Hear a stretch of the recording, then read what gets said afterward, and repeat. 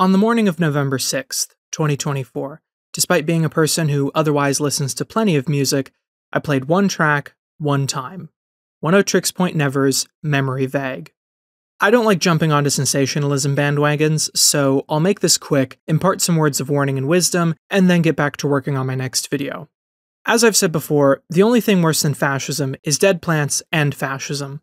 Harsh times aren't an excuse to declare all efforts as meaningless and to pick up unhealthy coping habits. The drinking, smoking, or other self harm you're doing is only going to make pushing through these upcoming struggles harder. If you haven't made self improvement goals, big or small, now's a good time to start. If you're a shoulder people tend to find themselves comfortable crying on, it'd be wise to do community damage control if you have the spoons for it. Our communities and our country are going to ask a lot from us, and we need to take care of ourselves in the meantime.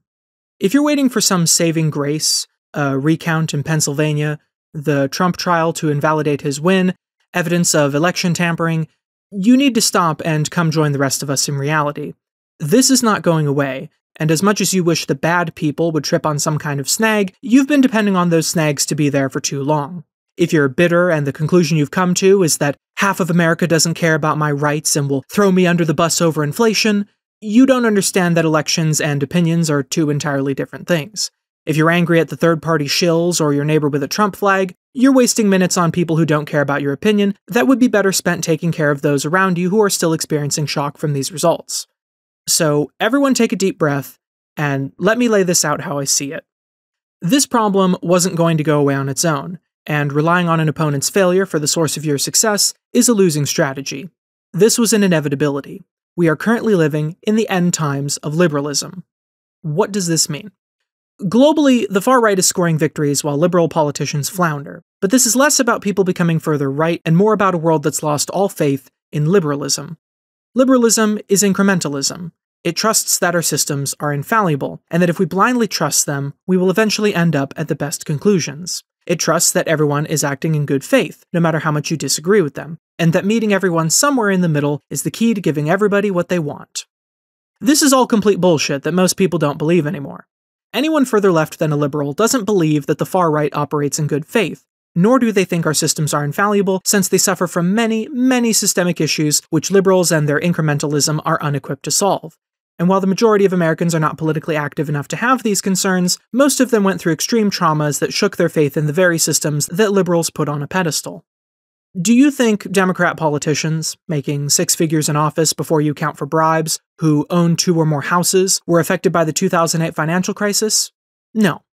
Do you think Democrat politicians, when the system didn't choose the candidate with the most votes in 2016, felt cheated out of what they were led to believe is a fair democratic system? No. Do you think Democrat politicians who get complete health care coverage for the entire time they're in office were personally affected by the pandemic? No. Do you think Democrat politicians, who are largely of majority demographics, have any urgency to protect the rights of minorities past simply pretending they're concerned? No. Do you think Democrat politicians, who regularly get donations from billionaires who don't even know what the cost of a loaf of bread is, were ever worried about inflation? No. Everyday people saw the government bail out corporations and fail to arrest a single banker in 2008. They witnessed a system that called itself a democracy pick the candidate with the second most votes in 2016. They watched as their relatives and friends died at the hands of a largely preventable public health crisis. They saw their daughters threaten suicide if they got pregnant, and their wives die of childbirth complications due to abortion bans. They watched as everything skyrocketed in cost, while their paychecks stayed stagnant. Now, to be clear, Dems handled the pandemic better than Trump did, they passed the Inflation Reduction Act. They started making safe havens for trans people and protected abortion at a per state level. Their chambers of Congress are being made up of more and more diverse people with every election. It would be lying by omission to not mention these victories. But in a larger context, this is damage control for problems they let happen due to their complacency.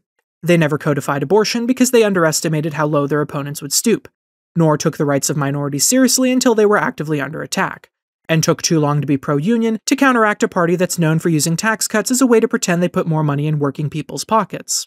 They wanted it to be your job to take Trump seriously at the ballot box and not theirs to do something about it. Just as a billionaire wants it to be your fault for not recycling when it's theirs for filling our oceans with microplastics and our air with pollutants. Just because liberals suffer a plethora of ineptitudes doesn't mean that both parties are equally bad. It just means that, as Germany already knows too well, liberals are never capable of ever defeating fascism. These results are also not an indictment of democracy as a whole. Coming to the correct conclusion is only its secondary function. The first is consent. Much of America didn't consent to this at all, either because they did not have the luxury of expressing that consent by turning their beliefs into a vote, which is why I say earlier that outcomes and opinions are two different things, but also that the increasing lack of faith in politics as a solution in general makes it hard for anyone to want to go through all of the extra difficulties with each passing election to cast that vote. And for those who did have the luxury of casting a convenient ballot but decided not to, remember that if you choose not to decide, you still have made a choice.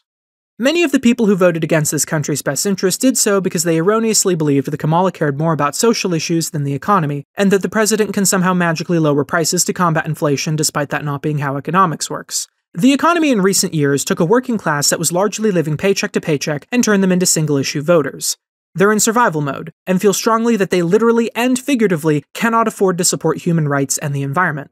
To a lot of these voters, they were choosing between civil rights or economic survival. It doesn't matter that this wasn't the reality of the situation, because people are not strictly rational beings, and effective politicians know that playing off of vibes is immensely more important than talking about policy.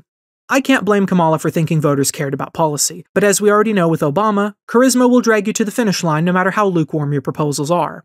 That said, your fellow Americans aren't dumb. Most of them don't have the time to be politically inclined outside of their soul crushing jobs, and like they have for most of their lives, acted on simple gut instinct. They didn't fall for simple tricks. Many were targeted by billions of dollars worth of propaganda accelerated by the most advanced technology of the modern day. They aren't unempathetic. Plenty of them are breadwinners who cannot risk their well being on praxis or their mental energy on pointless arguments. They're not violent. Lots of them are otherwise decent people with bad politics, despite the media putting a massive spotlight on their violent counterparts because sensationalism gets attention. This all isn't to say that the next four years won't be rough, or that fascists and their apologists are benign. Lessons will be learned, hardships will be had. The main thing we must do now is take care of ourselves and our communities. Additionally, be inconvenient for fascists.